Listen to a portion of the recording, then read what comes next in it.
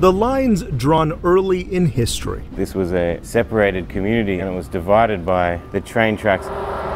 have left a mark This area has a lot of history. on people They're just indicators and the white is a sketch. This is the east side of McKinney. and places. The silo sits at the entrance to the east side, People don't pay attention to the details. the push-pull relationship of layers. But if physical and figurative lines can divide, they can also connect. Everybody's talking about it. He wrestles with it, that ultimately he's judged by, by everybody. Guido Van Helten I tell them I got a very strange job. has an impossible job. An Australian artist who's charged with redrawing the lines. I'm very particular about colors and shapes. They are enormous canvases to work on. The old concrete grain silos, a towering vestige of the past, but more importantly to the people here, an entrance to McKinney's east side. There's a whole community here and, and there's depth to it. Historically home to black and brown families. You can mix skin tones from just two colors and blue. He looked at the community that we are. The first time I was wondering, is they gonna put some color to it?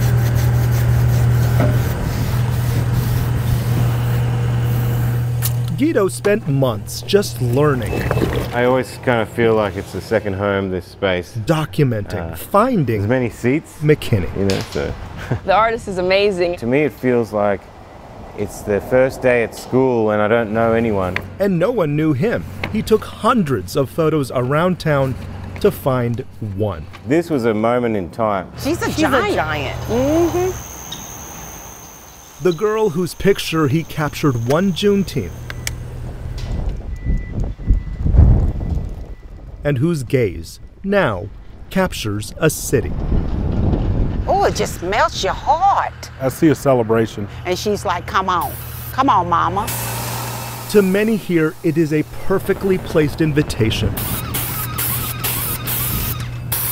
allowing us to be reflective of what we've become. He's just fantastic. Guido! and it bends the lines drawn so long ago. I can always look back, now I'm gonna look forward.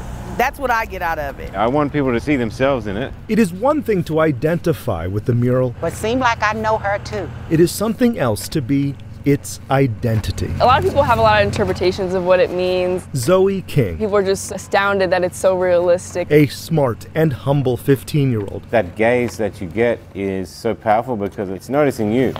Never saw Guido take that photo, I didn't even know that the painting was going on at all. never knew she was being painted. I turn, I look, and I'm like, well, there's, there's my face. But she did know it was never about her. it's obviously more than me. It is what she represents. There's no lie in those images. This is McKinney. And this This is what I felt. This is what I came across. is her city. It's almost like a new beginning to this side of McKinney. It's always been home to me. Even 30, 40 years down the track after the paint fades East side, west side. and any lines do too. I want people to feel it, read into it more, and feel something from it. In McKinney, This is home. This is home. I'm Jobin Panicker.